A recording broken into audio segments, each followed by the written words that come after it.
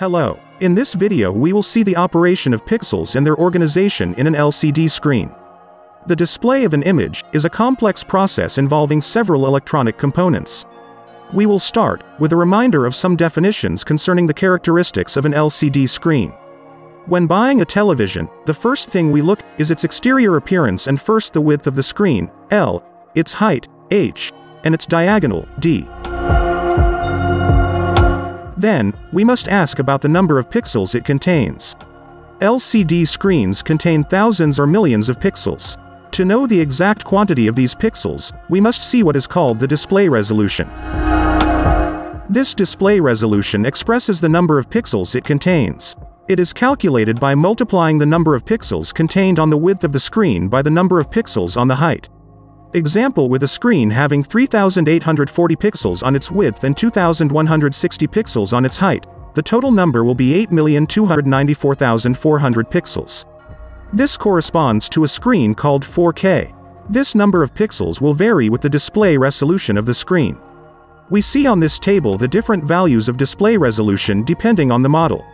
Compared to a 4K screen, an 8K screen contains 4 times more pixels. Two screens can have the same size but what will differentiate them is the number of pixels that each will contain. At equal size, the higher the number of pixels, the better the shades of the lights and colors will be and we will see more details. Conversely, what happens with two screens which do not have the same size but which each contain the same number of pixels? Here, on the larger screen, the pixels will be more widely spaced, on the other hand, on the smaller screen, the distance between the pixels will be smaller. To express this characteristic, we will use the term of pixel density. The pixel density is calculated using the inch as unit of measurement. An inch is equivalent to 2, 54 centimeters which is the average length of the second phalanx of the thumb. To know the resolution of a 16 9 format screen, you need to know the width of the screen, L, the height, H, the diagonal, D, and the display resolution, X pixels across the width, and Y the number of pixels on the height. We introduce all these values into a somewhat complex mathematical formula that will determine the value of the pixel density. The result of the pixel density is denoted by the abbreviation PPI, which stands for pixel per inch. In this example, the 42-inch screen has a resolution value at 104 pixels per inch. That is much higher than the 65-inch screen. The difference comes from the fact that to put so many pixels on a smaller surface, you have to bring them as close as possible. Now technological developments allow 22-inch screens to be manufactured in 4K. The advantage of having a maximum of pixels is particularly useful for large screens that can display as much detail as possible. With an insufficient number of pixels over a large area, the image will look pixelated. This table shows various characteristics of 16 9 format televisions. For each television set is noted in the first column the display resolution which corresponds to the quantity of pixels it contains. On the second column, we find the standard used. For example on the first line, a screen of 720 by 480 pixels corresponds to the DVD standard. On the third column is noted the name of the display resolution. To describe it, we use the second number which represents the number of pixels on the height of the screen and to which has been added the letter P, the exact meaning of which will be detailed in a moment. The last column represents the various trade names for these televisions. It is more telling for ordinary people to say a 4K TV than a UHD TV 1 or 2160p TV. We will now see what corresponds to the letter P in lowercase, following the digit of the number of pixels on the height of the screen. There are two display technologies of the lines in a screen. The so-called P mode stands for progressive scan. The line are displayed one by one.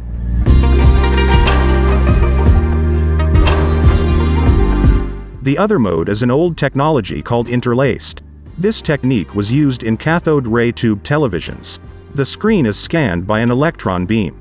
The image is split into two parts, an odd frame image and an even frame image. The quality is better with the P mode which is the progressive scan. The drawback of the interlaced mode was that it sometimes gave the appearance of a duplicated image.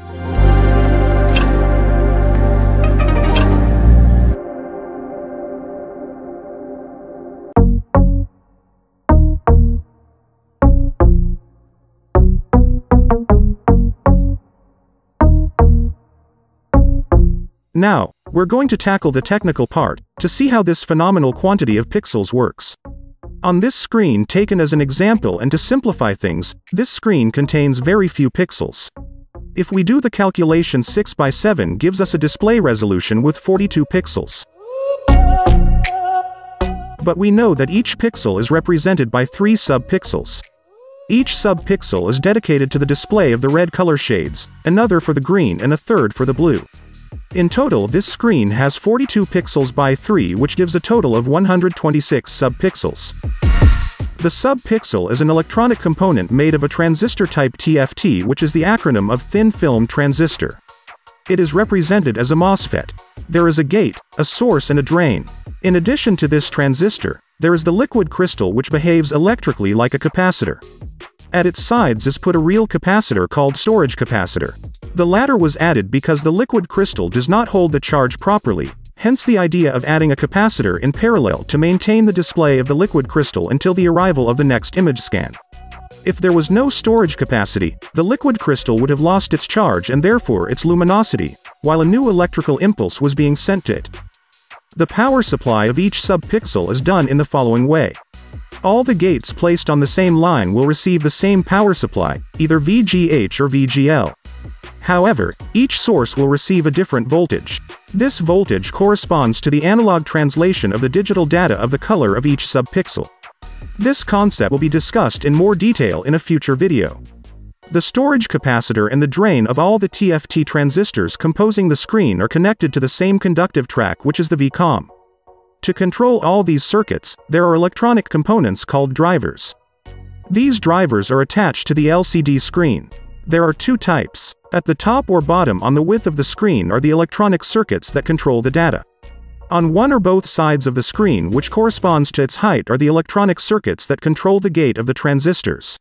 We have just said that at the top or bottom of the screen are the circuits related to the image data and which are connected vertically to the source of each subpixel. These circuits are called driver source or driver column because of their vertical arrangement. The number of source drivers depends on the number of columns on the screen and the technical characteristics of the driver, i.e. the number of columns it can handle.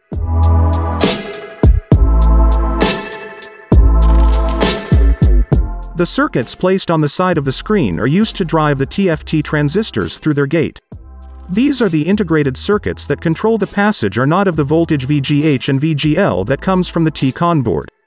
They are known under various names, gate driver, row driver, and sometimes we find the terms of scan driver. As for the driver of the sources, the number of the gate drivers also depends on the number of rows to be controlled in the technical characteristics of this driver, i.e. the number of rows which it can manage. The principle of these drivers is to supply voltage to the TFTs one row after another starting with the first row located at the top or bottom of the screen. Each time there is only one row that is active all the others are disabled. Gate driver chips can be presented in several forms. Either as shown in this figure, they are engraved on a plastic film by which they are attached to the screen. This technology is known under the abbreviation of COF which is a contraction of chip on film. On this screen there are two gate drivers which means that the screen on the horizontal plane is divided into two. Each gate driver will control one half of the screen. In other cases, the chips are not directly visible and there is no plastic film attached to the screen on the sides, unlike the top chips, the source drivers, which are always visible and attached to the screen through a plastic film. In the case where we do not see film on the sides of the screen is that the chips of the gate driver are engraved directly on the glass of the screen. This technique is called chip on glass noted in abbreviation COG. The gate driver chips which are directly etched on the screen glass, are connected to the T-con board thanks to conductive tracks, bypassing the screen edges. Some of these conductive tracks, do not go to the gate driver, but go to the common electrode that receives the VCOM. Other conductive tracks also bypass the screen across its width either through the underside of the T-con board, or bypassing the COF without going through the chips that drive the columns. For example, these tracks under the T-con make it possible to transmit the same gamma voltages to each source driver. For the VCOM its distribution is made in the same way. On this T-con board we can see on the picture several VCOM inscriptions accompanied for some of them by a number. This does not mean that there are several of them but just to be able to identify them with the 6 COF that this board has. We can check it with the multimeter, they are all connected to the same track. A particularity to know about the chips that are engraved on a film or COF is that they have regions that correspond to test points, where we can access the measurement of various voltages or control the signal with an oscilloscope. On this picture, the circles indicate the different test points. The conductive surface is protected by an insulating material. It is enough to scratch it carefully to access the conductive part. With the number of the chip, you have to find the datasheet to know the correspondence of each test point. For the example, here have been noted various inscriptions concerning the gate driver. We find the classic VGH, VGL, and GND which is the ground. In a next video will be detailed the meaning of CPV, CKV, OE, XAO, STV and many others. The different voltages that will go to the gate driver and the source driver chips are produced on the TCON board. The latter can communicate individually with each pixel. We have seen that in a screen, there are rows and columns. Each pixel corresponds to the intersection of a row with a column. The position of a pixel in the screen is noted with two values. First, the number of the row followed by the number of the column. For example, on this screen which has a display resolution of 1280 by 720, the first pixel placed at the top left of the screen is noted 1 and 1 which means pixel placed on the first line and connected to the first column. We take another example with the last pixel placed at the bottom right of the screen. Its number is 720 and 1280, which means the pixel placed on the 720th line connected to the 1280th column. The TCON sends the information at the right time to each pixel to display the corresponding color. Example The pixel 1 and 1 must display a white color, the pixel 2 and 1277 the orange color, the Pixel 719 and 1 the blue color and so on until the complete display of the image. In practice, what can this information be used for? Let's take the example of this screen with three gate driver chips which means that the screen is divided horizontally into three parts. Each driver will control a third of the screen. Now let's suppose that the last gate driver is out of order, due to a fault in the VGH voltage. This will result in a missing part of the image. The repair will consist in bringing this missing voltage with a copper wire directly from the TCON board to the corresponding COF. The copper wire used which will be soldered to the test point of the VGH on the COF must be very thin about 0.1 mm and it is recommended to add a low resistance of 100 ohms in series. Another technique to make this repair is to take the VGH not from the TCON but from the neighboring COF. This will have the advantage of putting a shorter wire. It will first be necessary to check with the datasheet the configuration of the tracks on the COF. There can be two cases of figures either the tracks of the VGH do not pass by the chip and go from close close directly to the neighboring COF, or the track of the VGH enters the chip and then leaves by another track. In the case of direct passage, the VGH can be taken from any point of the COF. However, if the VGH track enters the chip, it is mandatory to take the VGH after exiting the chip. We are going to finish this subject with a particular failure that we can meet in the screens which comprises on each side a series of gate driver.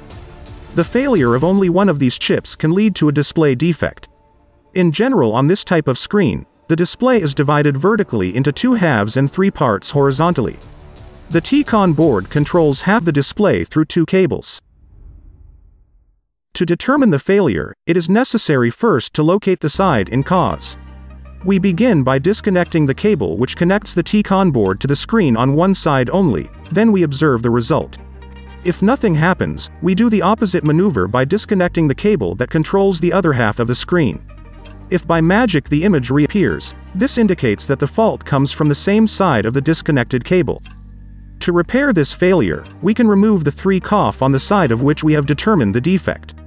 The image reappears without defect except for a decrease in the display resolution because a quantity of pixel has been artificially removed. Here is a schematic representation of the same screen with a full HD display resolution. It contains in height 1080 lines which are controlled by 6 gate driver. The fact of removing the 3 COF leads to a decrease of half the number of pixels on the height. Hence a decrease in the display resolution. We arrive at the end of the video. See you soon.